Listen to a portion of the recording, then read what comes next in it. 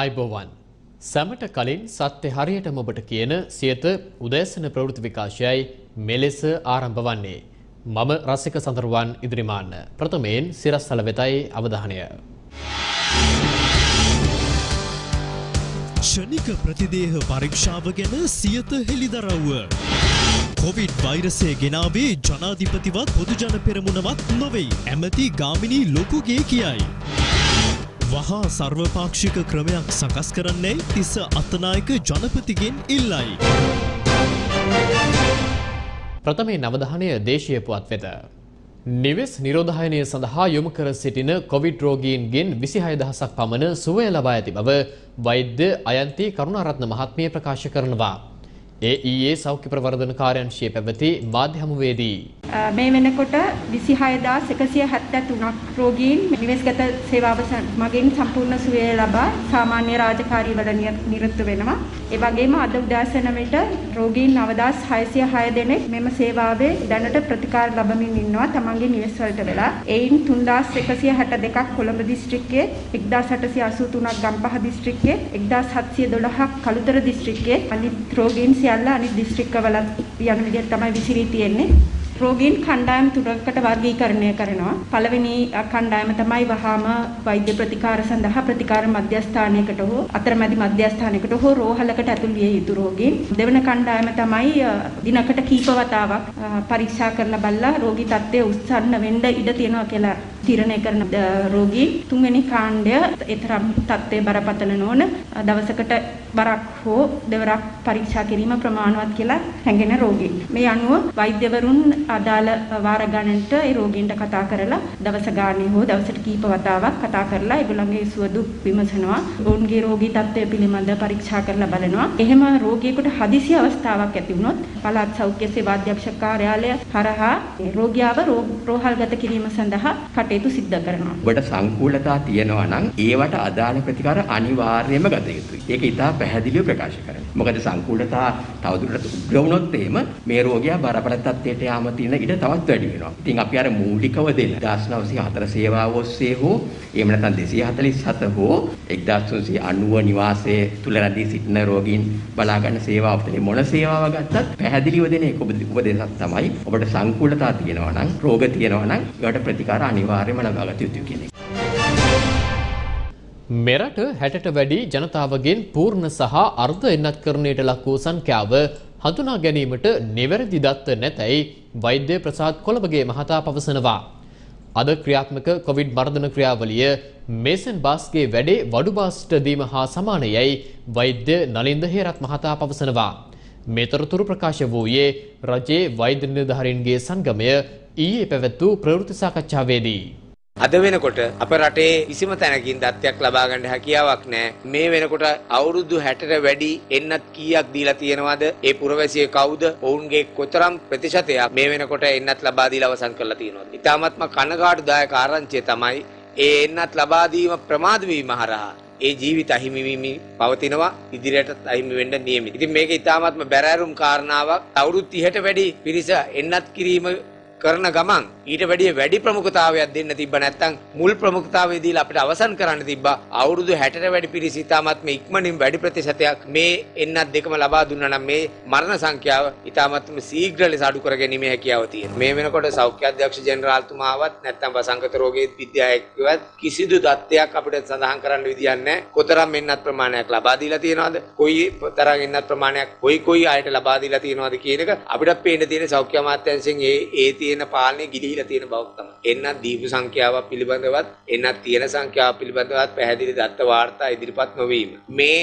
එන්නත් කාටද ලබා දුන්නේ කොයිද ලබා දුන්නේ සහ කොයි ආකාරයෙන්ද ලබා දෙන්නේ කියන එක සෞඛ්‍යාංශ වලට නැත්නම් අපිට නැත්නම් සෞඛ්‍ය අමාත්‍යාංශයවත් නිවැරදි තොරතුරු ලබා ගැනීම හැකියාවක් නැහැ. අපි දැක්ක පහුගිය දවස්වල සෞඛ්‍ය සේවා අධ්‍යක්ෂ ජෙනරාල්වරයාත් මාරු කරන්න යනවා කියලා විවිධ ප්‍රවෘත්ති පළ වුණා. මේ නිලධාරීන්ට වැඩ කරන්න දෙන්නේ නැතුව ඒ නිලධාරීන් පිට අනුන්ගේ වැරදි පටවලා ඉවත් කිරීම මං හිතන්නේ සුදුසු කාරණයක් නෙමෙයි කවුරු කළත්. ඒක අපි පැහැදිලිව කියන්නට ඕන. පැහැදිලිවම කියන්නට පුළුවන් සංඛ්‍යා දත්තවල විශාල පරස්පරතා තියෙන බව පසුගියදා මාධ්‍ය වලින් මෙහෙලි දරව් කරා.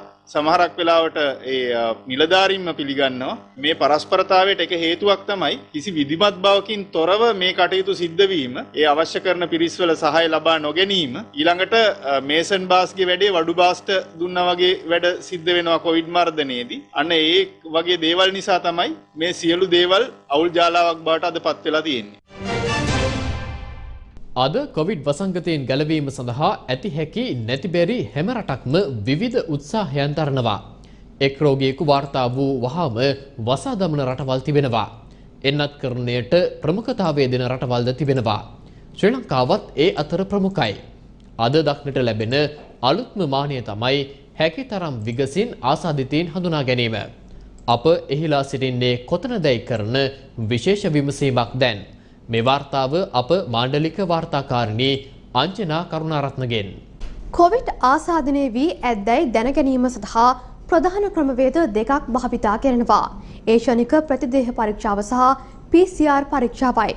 මින් වඩාත් ආසන්න නිරවද්‍ය අගේ ලැබුණේ PCR පරීක්ෂණ වලින් බව සත්‍යයක්. නමුත් ෂණික ප්‍රතිදේහ පරීක්ෂාවද සාර්ථක ප්‍රතිඵල අත්කර දෙනවා. අද වන විට ලෝකයේ බොහෝ රටවල් ෂණික ප්‍රතිදේහ පරීක්ෂාව ඉතා සරල කර තිබෙනවා. ඒ අනුව ඕනෑම අයකුට යම් සැකයක් ඇත්නම් තමන්ටම පරීක්ෂාව සිදු කරගත හැකි. ඒ සඳහා බොහෝ රටවල ඔසුසල් වලින් ෂණික ප්‍රතිදේහ කට්ටල මිලදී ගත හැකිව තිබෙනවා. ඒත් අපේ රටේ තවමත් මෙම පරීක්ෂණ සඳහා පවතින්නේ ඒකාධිකාරියක්. මේ පිළිබඳව මාධ්‍ය හමුවකදී ප්‍රසායනාගාර වෘත්තියවේදීන්ගේ විද්වත් සංගමයේ සභාපති රවි කුමුදේශ් මහතා අදහස් දැක්වුවා.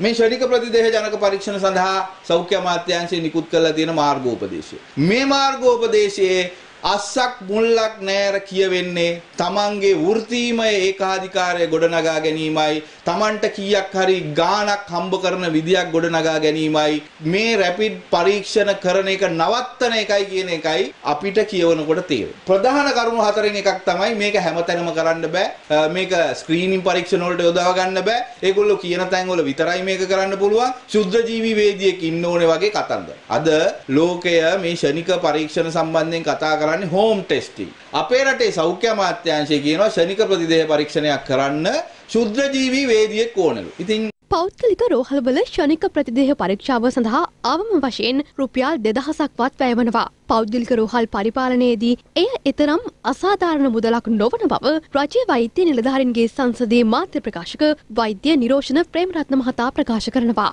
වෙළඳ ව්‍යාපාරයක් හැටියට බලන්න නැතුව මේක ඇත්තටම මේ දැන් අවුරුදු 1 මාස ගාණක් අපි මේ වෛරසයත් සමග ඉවත් වෙනවා. එතෙන්දී මීට වැඩි සරල ක්‍රියාදාමයකට යන්න තිබුණා කියලා මගේ අදහස. ගරු ස්වාමීන් වහන්සේ නමකුත් චෝදනා කරලා තිබුණා මේක රැපිඩ් ටෙස්ට් කිට් එක ගේන්නේ වෙල 80ට දෙන්න පුළුවන් එකක් කියලා. නමුත් එකම දේ 80ට පෞද්ගලික රෝහල් වල කරනවා නම් ඒක කරන්න අමාරුයි. මොකද හේතුව ඒගොල්ලන්ට එතන මේන්ටේන් කරන්න ඕනේ, අඳුන් අඳින්න ඕනේ. ඒ වගේ ඒවට සෑහෙන ගාණක් යන දේවල් නැතුව තමයි මම හිතන්නේ කියලා දෙන්නේ. නමුත් හැබැයි අපේ ජනතාවට ඒ ගන්න විදිහ ඇත්තටම රූපවාහිනියෙන් ඒ වගේම යම්කිසි ඩිමොන්ස්ට්‍රේෂන් එකක් කළා නම් ඒ කිට් එක ළමයි ජනතාවට සහන මිලක ලැබෙන්න සැලසුවා නම් උදාහරණයකට ෆාමසිකින් වගේ සාධාරණ ගානකට ඒතකොට ඒගොල්ලන්ට හදිසියේ තමුන්ට මේක සැක කටයුතුණා ඒගොල්ලන්ටම කරලා බලන්න. එමුණ පොසිටිව් වුණත් ඒගොල්ලන්ට ඒකට අදාළ තැන්වලට දාන්නන්න. මේ සීරු ප්‍රකාශවලින් හා ලෝක තත්ත්වය විමසීමේදී එක් කරුණක් පැහැදිලි.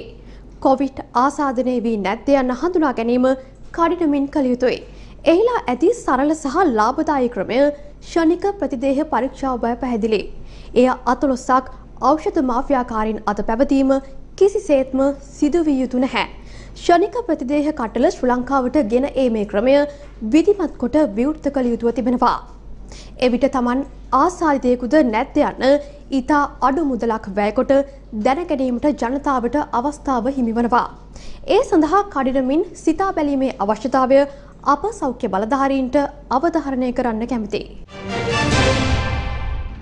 විදේශ කටයුතු අමාත්‍ය ජීල් පීරිස් මහතා විදේශ රටවල් කිහිපයක තානාපතිවරුන් සහ මහ කොමසාරිස්වරුන් හමු වුණා. එහිදී පවතින කොවිඩ් වසංගත තත්ත්වය සඳහා ශ්‍රී ලංකාවට සහාය වීමට තානාපතිවරුන් පොරොන්දු වූ බවයි වාර්තා වන්නේ. ශ්‍රී ලංකාවේ ඉන්දයානු මහකොමසාරිස් ගෝපාල් බාග්ලේ මහතා විදේශ අමාත්‍ය මහාචාර්ය ජේල් පීරිස් මහතා හමු වුණා. COVID-19 වසංගතයට එරෙහිව සටන් කිරීම සඳහා ඉන්දියාව ලබා දෙන අඛණ්ඩ සහයෝගය මෙහිදී අමාත්‍යවරයාගේ ඇගයුමට ලක් වුණා. ඉන්දියාව විසින් ශ්‍රී ලංකාවේ ඖෂධ නිෂ්පාදන කම්හල් පිහිටුවීම කෙරෙහිද සාකච්ඡාවේදී අවධානය යොමු වුණා. මේ අතර තවත් රටවල් කිහිපයක තානාපතිවරුන් සහ මහ කොමසාරිස්වරුන් විදේශ අමාත්‍යවරයා හමු වී තිබෙනවා. ජපාන තානාපති අකිරා සුගියමා මහතා දෙරටේ අඛණ්ඩ සහයෝගයේ ඇගයුමට ලක් කර තිබුණා. රුසියාවේ ශ්‍රී ලංකා තානාපතිවරයා විදේශ අමාත්‍යවරයා හමුවෙමින් සඳහන් කළේ වසංගතය සමග මානව වර්ගයා මුහුණ දී ඇති පොදු අභියෝග සඳහා විසඳුම් සෙවීම වැදගත් බවයි. කොවිඩ් වසංගතය අතරතුර එන්නත්කරණය සඳහා යුරෝපා සංගමේ දායකත්වයේද අමාත්‍යවරයාගේ ඇගයුමට ලක් වුණා. ඒ යුරෝපා සංගමේ තානාපතිවරයා හමු වූ අවස්ථාවේදී ශ්‍රී ලංකාවේ ඇමරිකානු තානාපතිනි ඇලයිනා ටෙප්ලිට්ස් මහත්මියද විදේශ අමාත්‍යවරයා හමු වුණා. එක්ස්ප්‍රස් පර්ල් නෞකාව ගිනි ගැනීමෙන් සිදු වූ බලපෑම සහ කොවිඩ් වසංගතයෙන් මෙරටට සිදු වූ බලපෑම හමුවේ එක්සත් ජනපදයේ ලබා දුන් සහයෝගය මෙහිදී අමාත්‍යවරයාගේ ඇගයුමට ලක් වුණා. විශ්‍රාම යන අවස්ථාවේ කොළඹ විශාල නිවෙස් දෙකක් Tamanගේ නමට ලියාගත් බවට වන ප්‍රකාශය අමෝලික අසත්‍යයක් යයි හිටපු ජනපති මෛත්‍රීපාල සිරිසේන මහතා පවසනවා. හිටපු පාර්ලිමේන්තු මන්ත්‍රී බිමල් රත්නායක මහතා සිදු කළ ප්‍රකාශයකට පිළිතුරු ලෙස මාධ්‍ය නිවේදනයක් නිකුත් කරමින් මෛත්‍රීපාල සිරිසේන මහතා මේ බව පෙන්වා දෙනවා. අපි මෛත්‍රීපාල සිරිසේන ජනාධිපතිතුමාගෙන් අහන්න කැමති හිටපු ඔබතුමාර විශ්‍රාම යන්න ආසන්න වෙලාවේදී කොළඹ නගරේ මැද්දේ රජයට ඈත තිබිච්ච මහා මන්දිර දෙකක් එකට එකතු කරලා කැබිනට් පත්‍රිකාවකින් ඔබට ලියාගත්තා. දැන් ඔබ එය දෙනවද? බිමල් රත්නායක මහතා සිදු කළ මෙම ප්‍රකාශය සම්බන්ධයෙන් හිටපු ජනාධිපතිවරයා මාධ්‍ය නිවේදනයක් නිකුත් කර තිබුණා. එම නිවේදනයෙන් උපුටා ගැනීම. මෙම ප්‍රකාශය සම්පූර්ණයෙන්ම සාවද්‍ය ප්‍රකාශයක් වන අතර එම ප්‍රකාශය මුළුමනින්ම ප්‍රතික්ෂේප කරමි. 1986 අංක 4 දරන ජනාධිපති හිමිකම් පනත යටතේ සහ අංක 503 ඇල ඉරක් 2005 FR දරන ශ්‍රේෂ්ඨාධිකරණයේ අයදුම්පත ප්‍රකාරව විශ්‍රාමික ජනාධිපතිවරයෙකුට ජීවත්ව සිටින තාක්කල් ජීවත් වීමට නිල නිවසක් රජයෙන් පිරිනමන අතර එය මුළුමනින්ම රජයේ සතු දේපලකි. මින් පෙර සිටි සියලුම විශ්‍රාමික ජනාධිපතිවරුන් හටද රජයේ නිල නිවාස පිරිනමා තිබේ. එම සියලු නිවාස රජයේ සතු දේපලකි. මෙවැනි ප්‍රකාශයක් කිරීම පිළිබඳව අප මවිතයට පත්වන අතර ඉදිරියේදී මෙම ප්‍රකාශය නිවැරදි කරනු ඇතැයි විශ්වාස කරමි. උපුටා ගැනීම අවසන්. ජනතා මතයට ගරු කරමින් ප්‍රජාතන්ත්‍රවාදී පාලනයක් වහා ස්ථාපිත කරන්නයි විපක්ෂ නායක සජිත් ප්‍රේමදාස මහතා තලිබාන් සංවිධානයෙන් ඉල්ලා සිටිනවා. ඔහු රජයෙන් ඉල්ලා සිටින්නේ එහි සිටින ශ්‍රී ලාංකිකයින් වහා ගෙන්වා ගැනීමට පියවර ගන්නා ලෙසයි. ඇෆ්ගනිස්ථානයේ වර්තමාන තත්ත්වය සම්බන්ධයෙන් විපක්ෂ නායක සජිත් ප්‍රේමදාස මහතා මාධ්‍ය නිවේදනයක් නිකුත් කර තිබුණා. එම මාධ්‍ය නිවේදනයෙන් උපුටා ගැනීම.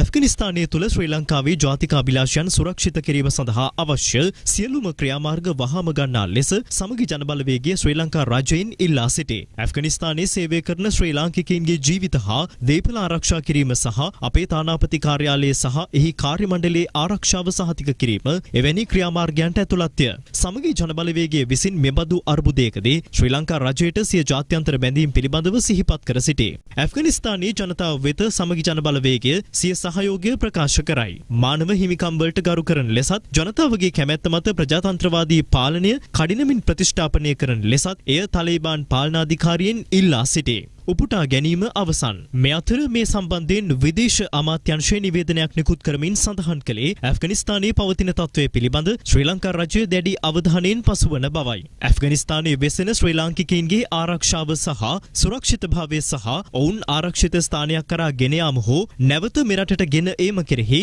සිය අවධානය යොමු වී ඇති බවයි එම නිවේදනයේ දැක්වෙන්නේ.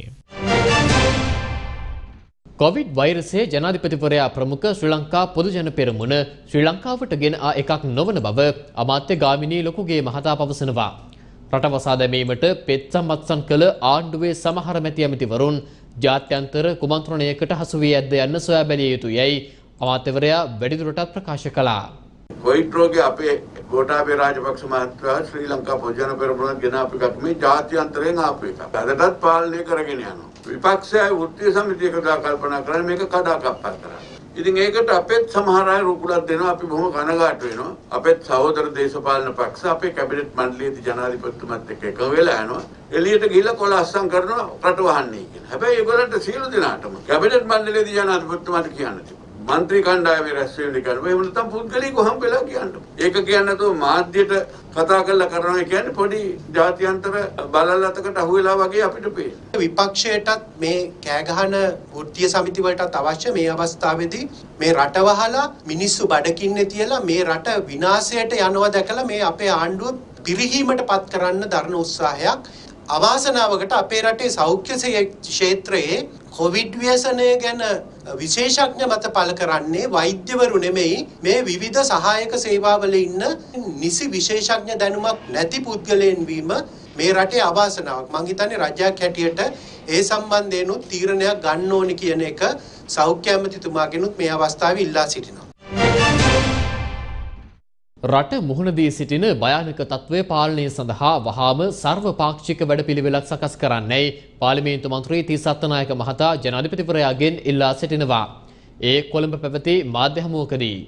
ජාතික ව්‍යසනයක් අවස්ථාවක රට යළි නගා සිටවන්න එවගේම ජනතාව සුරක්ෂිත කරන්න ජාතික වැඩපියුලකට අවතීර්ණ විය යුතුයි මේ සඳහා ආණ්ඩුව තාමත් කිසිදු ආකාරයක ක්‍රියාමාර්ගයක් අරගෙන නැහැ. ඒකට හේතුව ආණ්ඩුව උද්දච්චකමකින් ඉන්නවා. අපිට තුනෙන් දෙකක් තියෙනවා කාගත් උපදෙස් ඕන නැහැ කියලා ආණ්ඩුව කල්පනා කරනවා.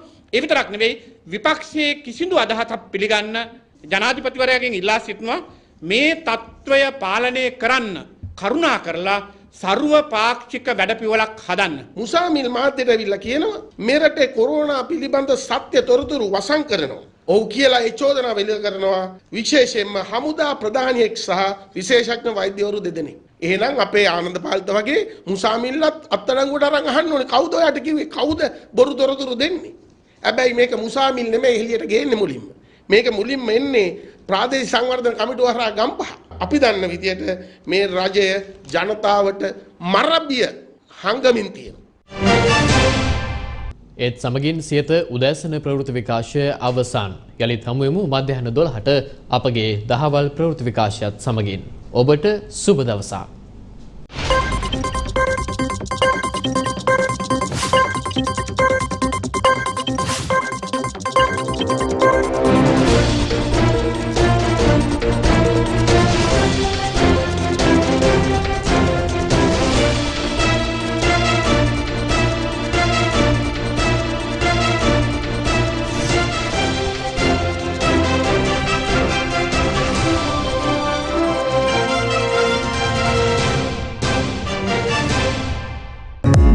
දිනපතා අලුත් වීඩියෝ සහ ප්‍රවෘත්ති නැරඹීමට ඉහත බටන එක ක්ලික් කර සියත TV සබස්ක්‍රයිබ් කරන්න.